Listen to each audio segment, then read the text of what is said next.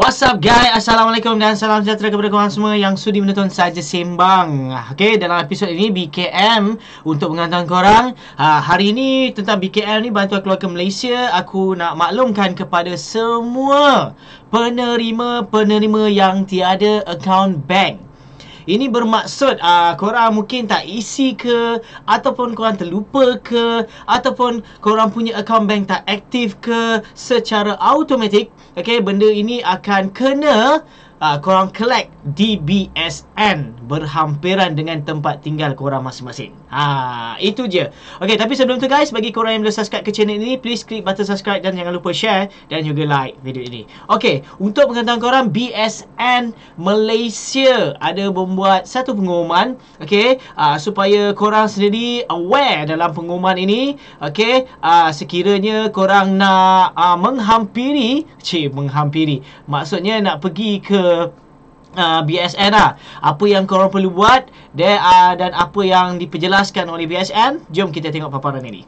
Okey, pelanggan yang dihormati pe pembayaran bantuan keluarga Malaysia BKM fasa 1 melalui pengkreditan ke dalam akaun akan bermula secara rasminya pada 28 Mac 2022 dan ia akan dilakukan secara berperingkat. Bagi bayaran tunai pula, ah ini korang pernah dengar. Ia akan dilakukan mulai 30 Mac 2022. Okey, hari Rabu di seluruh cawangan BSN.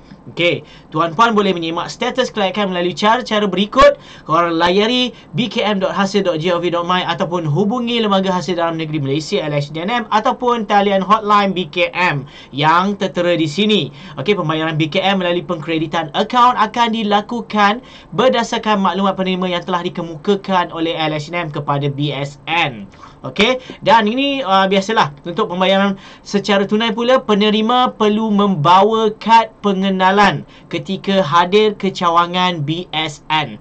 Okey, dan hanya wakil yang didaftarkan sahaja dibenarkan untuk mewakili mewakilkan penerima bagi penunaian BKM. Okey, uh, itu sedikit sebanyak Info yang penting korang perlu aware. Ingat bagi korang yang tiada mempunyai baki account 30 Mac 30 Mac baru korang datang.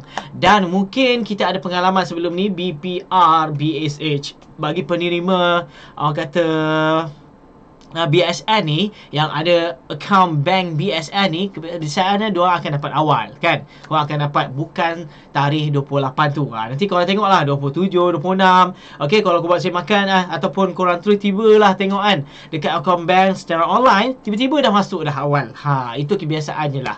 Ok nanti ramailah orang akan tak duduk diam lah. Kan? Excited. Ha, tunggu. Ha, duit kenapa aku tak masuk. Kenapa aku masuk dulu? Ha, ha. ok so korang kena clear. BSN kebiasaannya akan dapat dulu berbanding dengan bank-bank lain. Biasanya bank-bank lain ni dia mengikut tarikh rasmi uh, apa yang kerajaan ataupun apa yang Perdana Menteri dah umumkan iaitu 28 Mac tu 2022.